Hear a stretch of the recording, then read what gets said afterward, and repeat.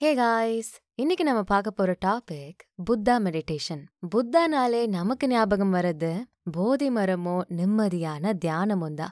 புத்தா தன்னோட உணர்வுகளை சரியா நிர்வகிச்சு மனச ஒருநிலைப்படுத்தி எந்த எதிர்மறை உணர்வுகளையும் வெளிக்காட்டாம வாழ்ந்திருக்காருன்னா அதுக்கு அவரோட தியானம் தான் காரணம். இப்ப இருக்க எல்லா வகையான தியானமும் புத்த தியானத்துல இருந்து தான் உருவாச்சு. புத்தருடைய போதகம் நிறைய இடங்களுக்கு பரவ ஆரம்பிச்சு உலகத்துல இருக்க எல்லா நாடுகளுக்கும் புத்த மதத்தை பத்தி தெரிய வந்துச்சு. அப்பதான் புத்த தியானத்தை ஒவ்வொரு வகையில பிரிக்க ஆரம்பிச்சாங்க. மேற்கத்திய உலகத்துல இந்த புத்த தியானத்தையே வெவ்வேறு விதங்கள்ல பண்ணாங்க. அதுல மூணு வகையான தியானம் ரொம்பவே சிறப்பு வாய்ந்ததா இருந்திருக்கு. மெடிடேஷன் நம்பர் ஒன் ஷாமதா ஷாமதா அப்படிங்கிறதுக்கு மைண்ட்ஃபுல்னஸ் அப்படின்னு அர்த்தம். மைண்ட்ஃபுல்னஸ் அப்படின்னா நம்ம எண்ணங்கள் உணர்வுகள் இது எல்லாத்துலயுமே விழிப்புணர்வோட கான்ஷியஸா இருக்கிறது. இந்த ஷாமதா புத்த தியானம் பண்றதுனால நமக்குள்ள மன நிம்மதி கிடைக்கும். தெளிவா சிந்திச்சு நடந்துக்க ஆரம்பிப்போம். என்னைக்குமே சமநிலையான வாழ்க்கைய வாழ ஆரம்பிப்போம். பட் இந்த ஷாமதா தியானத்தை சரியான முறையில பண்ணணும். ஏற்கனவே இதுல திறமையா இருக்கவங்க கிட்ட இருந்து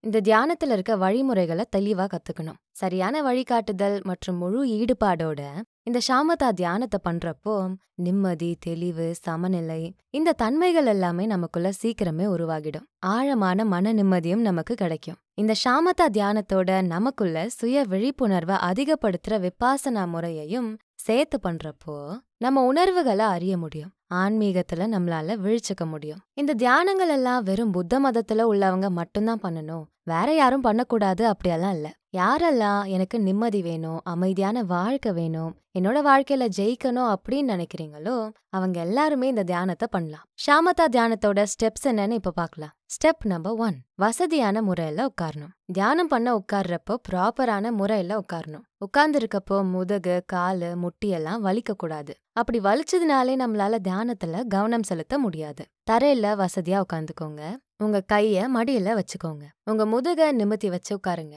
எந்த முறையில உட்கார்றது உங்களுக்கு சரியா இருக்குன்னு படுதோ அதுக்கேத்த மாதிரி உட்காரணும் சோ தியானம் பண்றதுக்கு முன்னாடி வசதியா எந்த தொந்தரவும் இல்லாம உட்காரணும் இதான் எல்லா வகையான தியானத்துக்கும் முதல் படி. Step number two. மூச்சு காற்ற கவனிங்க. கண்களை மூடிட்டு நல்லா மூச்சை இழுத்து விடுறப்போ உங்க மனமும் உடம்பும் அமைதியாகும். நார்மலா மூச்சு விடாம டீப் பிரீதிங் இல்லனா அப்டாமினல் பிரீதிங் பண்ணுங்க. அதாவது ஆழமா மூச்சு விடணும். நார்மலா நம்ம மூச்சு விடுறப்போ நமக்குள்ள போற காற்று நம்ம நெஞ்சோட நின்னுடும். ஆனா ஆழமா மூச்சு விடுறப்போ அந்த காற்று நம்ம வயிறோட அடிபாகம் வரைக்கும் போகும். ரொம்ப அழுத்தம் கொடுக்காம மூச்சு விடுங்க. மூச்சு உள்ள இழுக்கிறப்போ அஞ்சு வர எண்ணிட்டு ஒரு ரெண்டு வினாடிக்கு அப்படியே வெயிட் பண்ணிட்டு மூச்சை வெளியேத்துங்க. மூச்சை வெளியேத்துறப்பவும் அஞ்சு வினாடிகள் எண்ணிக்கோங்க. உங்க மூச்சுல நல்லா கவனம் செலுத்தணும். இதுதான் தியானத்துல ரொம்ப முக்கியமான பகுதி. உங்க முழு உடம்பும் அமைதியாகிடுச்சு. உங்க மனமும் அமைதியாகிருச்சு அப்படின்னு ஒரு நிம்மதிய உணர்றீங்க அப்படின்னா இந்த மூச்சு விடுற வழிமுறைய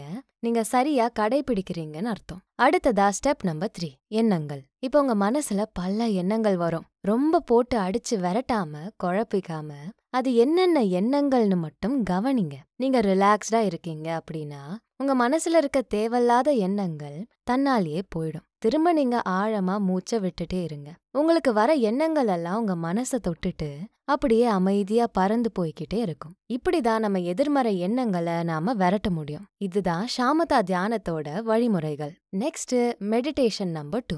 மெட்டா ஆர் லவ்விங் கைண்ட்னஸ் ஒவ்வொரு காலங்கள்லயும் இந்த புத்த தியானம் மாற்றமடைய ஆரம்பிச்சது. ஷாமதா காலத்துல தெளிவுக்காக நிம்மதிக்காக ஷாமதா தியானம் மட்டும் பண்ணாங்க. அப்புறமா ஒரு காலத்துல நல்ல வாழ்க்கைக்காகவும் அன்பு இரக்கம் இது எல்லாத்துக்காகவும் இந்த மெட்டா தியானத்தை பண்ண ஆரம்பிச்சாங்க. இந்த லவ்விங் கைண்ட்னஸ் தியானம் பண்றது மூலமா நம்ம எல்லார்கிட்டயும் அன்பு காட்ட முடியும். அவங்கள காயப்படுத்தாம பேச முடியும். அவங்க கூட எளிமையா பழக முடியும். இந்த பிரபஞ்சத்துல இருக்க எல்லாத்துக்குமே நம்ம சரிசமமான அன்பையும் இரக்கத்தையும் காட்ட ஆரம்பிப்போம். இந்த மெட்டா தியானத்துல நம்ம சில மந்திரங்கள் அப்புறம் வரிகள் கூட சொல்லலாம். மெட்டா ஒரு லவ்விங் கைண்ட்னஸ் தியானத்தை எப்படி பண்றதுன்னு பார்க்கலாம். ஸ்டெப் நம்பர் ஒன் அமைதியான இடத்த தேர்ந்தெடுங்க.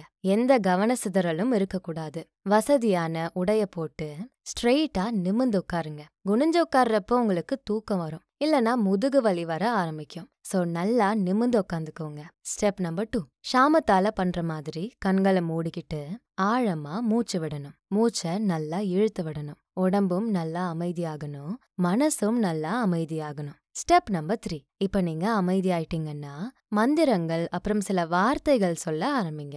இதெல்லாமே நேர்மறையான வாக்கியங்களா மட்டும்தான் இருக்கணும். உதாரணத்துக்கு நான் சந்தோஷமா இருக்கணும் நான் நிம்மதியா இருக்கணும் என் உடல் நலம் என்னைக்கும் நல்லா இருக்கணும். என்னை சுத்தி இருக்க எல்லாரும் நிம்மதியான வாழ்க்கைய வாழணும். இந்த மாதிரி நல்ல வரிகளை சொல்லலாம். உங்களுக்கு ரொம்ப பிடிச்சவங்களுக்கும் கூட நீங்க நல்ல வரிகளை சொல்லலாம். உங்களுக்கு பிடிச்சவங்க யாரோ அவங்கள கற்பனை பண்ணிக்கிட்டு உனக்கு சந்தோஷம் கிடைக்கணும் நிம்மதி கிடைக்கணும் நீ ஆசைப்பட்டதை நீ சீக்கிரமே அடையணும். இந்த மாதிரி சொல்லலாம். ஒருவேளை உங்களுக்கு ஏதாவது வேதம் மேல நம்பிக்கை இருக்கு அப்படின்னா அந்த வேதத்துல சொல்லப்பட்டிருக்க வசனத்தை கூட நீங்க சொல்லலாம். இந்த லவ்விங் கைண்ட்னஸ் தியானம் பண்றது மூலமா நமக்கு சுய பராமரிப்பு ஜாஸ்தியாகும். மத்தவங்க மேல அன்பும் பாசமும் இரக்கமும் அதிகமாகும். யாரையும் கஷ்டப்படுத்த மாட்டீங்க. என்ன விஷயமா இருந்தாலும் மத்தவங்க இடத்துல இருந்து யோசிச்சு பாப்பீங்க. எல்லாரையும் ஈஸியா மன்னிச்சிருவீங்க. ஸ்ட்ரெஸ் இல்லாத வாழ்க்கைய வாழ்வீங்க. உங்ககிட்ட இருக்கிறத அப்படியே ஏத்துப்பீங்க. இப்படி நிறைய பலன்கள் இருக்கு. இந்த மெட்டா தியானம் பண்ண நிறைய பேரு தனக்கு நிம்மதியான வாழ்க்கை கிடைச்சிருக்குன்னு சொல்லிருக்காங்க.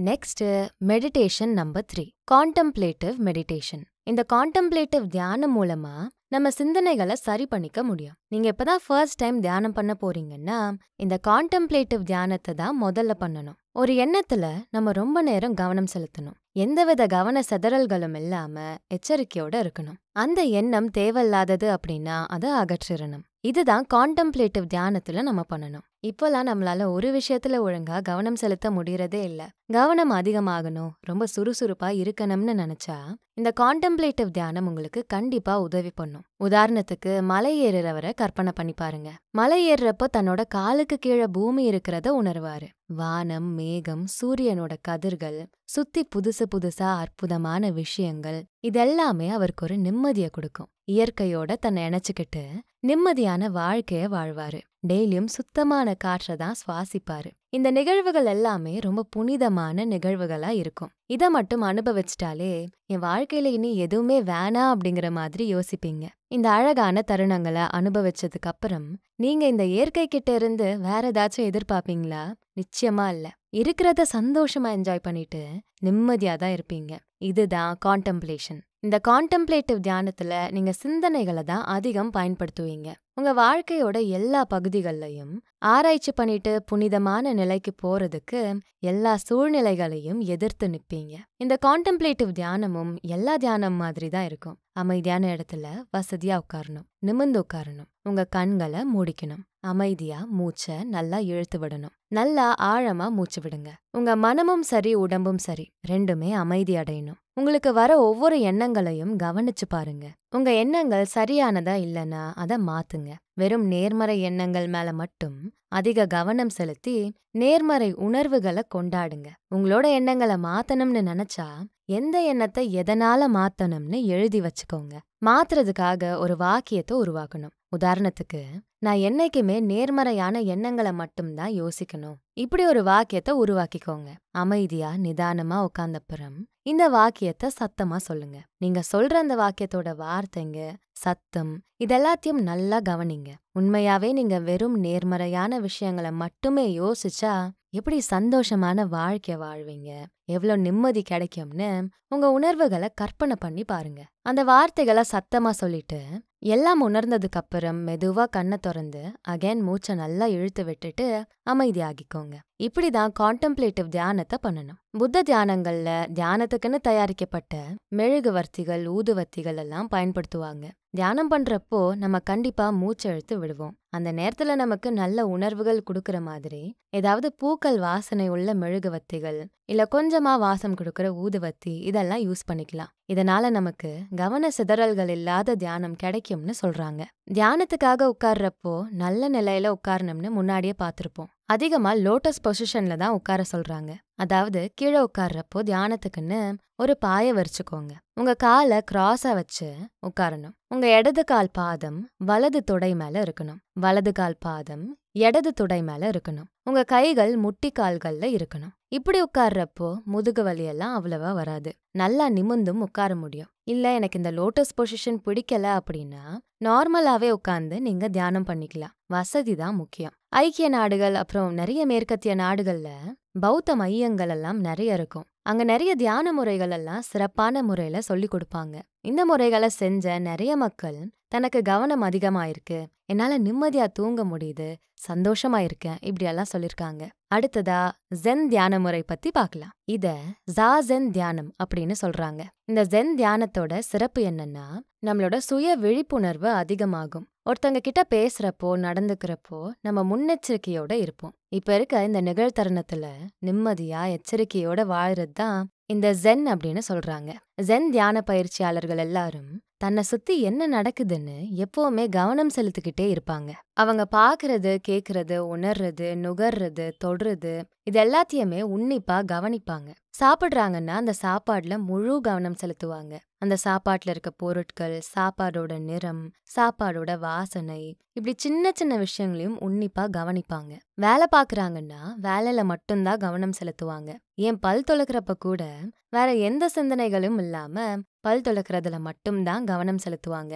சோ இந்த ஜென் தியானத்தினால நம்ம மனசுல என்னைக்குமே டிராஃபிக் ஜாம் இருக்காது. என்னைக்குமே கூட்ட நெரிசல்ல சத்தமா எரிச்சல் படுத்துற மாதிரி நம்ம மைண்ட் இருக்காது. சோ அதிகமான நிம்மதி கிடைக்கும். இப்ப இந்த ஜென் தியானத்தை எப்படி பண்றதுன்னு பார்க்கலாம். ஜென் தியானத்தோட நிலை லோட்டஸ் பொசிஷன் தான். நல்லா அமைதியான நிம்மதியான எந்த தொந்தரவும் இல்லாத இடத்துல தியானத்துக்கான மெழுகுவத்திகளை ஏத்திக்கோங்க. வசதியான உடைகளை போட்டுக்கிட்டு அமைதியா லோட்டஸ் பொசிஷன்ல உட்காருங்க. உங்க கால்கள் கிராஸ்டா இருக்கணும். உங்க இடது பாதம் உங்க வலது தொடைக்கு மேல இருக்கணும். உங்க வலது பாதம் இடது தொடைக்கு மேல இருக்கணும். உங்க கைகள் ரெண்டும் முட்டியில இருக்கணும். இப்ப கண்களை மூடிக்கோங்க. ஆழமா மூச்சழுத்து விடுங்க. மூச்சை உள்ள இழுக்கிறப்போ ஐந்து வினாடிகள் எண்ணிக்கோங்க. அப்புறம் மூச்சை ரெண்டு வினாடிகளுக்கு பிடிச்சுக்கோங்க. வெளியேத்துறப்போ அஞ்சு வினாடிகள் எண்ணிக்கோங்க. நல்லா அமைதியானதுக்கு அப்புறம் ஏதாவது மந்திரம் இல்ல வேத வசனங்கள் சொல்லணும்னாலும் சொல்லிக்கலாம். இப்போ உங்களுக்கு என்னென்ன எண்ணங்கள் வருதுன்னு பாருங்க. அந்த ஒவ்வொரு எண்ணங்கள்லையும் கவனம் செலுத்துங்க. அது எதிர்மறை எண்ணங்களா இருந்தாலும் சரி அது எப்படி வந்துச்சுன்னு பாருங்க. இப்ப எனக்கு இது தேவையில்ல அப்படின்னு அதை அகற்றிட்டு அடுத்த எண்ணத்துல கவனம் செலுத்துங்க. அந்த மெழுகுவத்தியோட வாசனையில கவனம் செலுத்துங்க. உங்களுக்கு பறவைகளோட எண்ணம் வந்தா அதுங்களோட சத்தத்தை கற்பனை பண்ணி ரசிச்சு உணருங்க. இப்படி ரொம்ப நுணுக்கமா கவனம் செலுத்தணும். முதல் நாள் வெறும் பத்து நிமிஷம் தான் ஜென் தியானம் பண்றீங்கன்னா அடுத்த நாள் ஒரு ரெண்டு நிமிஷம் கூட்டி வச்சு பன்னெண்டு நிமிஷமா பண்ணுங்க. ஒவ்வொரு நாளும் உங்க தியான நேரத்தை அதிகப்படுத்திக்கிட்டே இருங்க. ஓரளவுக்கு ஒவ்வொரு எண்ணங்களையும் தெளிவா கவனம் செலுத்தின அப்புறம் கண்ணை திறந்துட்டு நல்லா ஆழமா மூச்சு விடுங்க. ஏதோ வித்தியாசமா இருக்குன்னு உணர்வு வரும். ஒரு மன அமைதி கிடைச்ச மாதிரி இருக்கும். இப்ப நீங்க என்ன வேலை பார்த்தாலும் அதுல செம்ம கவனம் இருக்கும். தாய்வான்ல இந்த ஜென் தியானத்தை போதைக்கு அடிமையானவங்கள குணப்படுத்த பயன்படுத்துறாங்க. ஏன்னா ஜென் தியானத்தினால சுய கட்டுப்பாடு அதிகமாகுதுன்னு ஆராய்ச்சியாளர்கள் சொல்லிருக்காங்க. மூளையோட செயல்திறனும் சீராகுமா? இந்த புத்த தியானங்கள் மூலமா நம்ம ஆழ்மனசையும் கூட தட்டி எழுப்ப முடியும். அது மட்டுமில்லாம நிறைய மனநோய்களுக்கு இந்த புத்த தியானத்தை தான் குணப்படுத்தும் முறையா பயன்படுத்துறாங்க. மன அழுத்தம் மனநிலை கோளாறுகள் இதெல்லாத்துக்கும் கூட இந்த புத்த தியான வழிமுறைகளை தான் குணப்படுத்துறதுக்கு பயன்படுத்துறாங்க. நேர்மையா உண்மையா நம்ம தியானம் பண்ணோம் அப்படின்னா நமக்கு நிம்மதியான வாழ்க்கை கிடைக்கும். தெளிவான சிந்தனை கிடைக்கும். ஆசைப்பட்ட மாதிரி வாழ முடியும். சோ புத்த தியானங்கள் இன்னுமே நீங்க செஞ்சு பார்த்ததில்ல அப்படின்னா இப்பவே ஆரம்பிங்க. கண்டிப்பா மன அமைதி கிடைக்கும். சோ இந்த வீடியோ உங்களுக்கு ஹெல்ப்ஃபுல்லா இருந்தா மறக்காம லைக் பண்ணிட்டு உங்க ஃப்ரெண்ட்ஸ் அண்ட் ஃபேமிலிக்கு ஷேர் பண்ணுங்க. அப்படியே பியாண்ட் ஆர்டினரிக்கு சப்ஸ்கிரைப் பண்ணிட்டு மறக்காம பெல் ஐக்கானை அழுத்திடுங்க. நான் உங்களை அடுத்த வீடியோல பாக்குறேன் தேங்க்யூ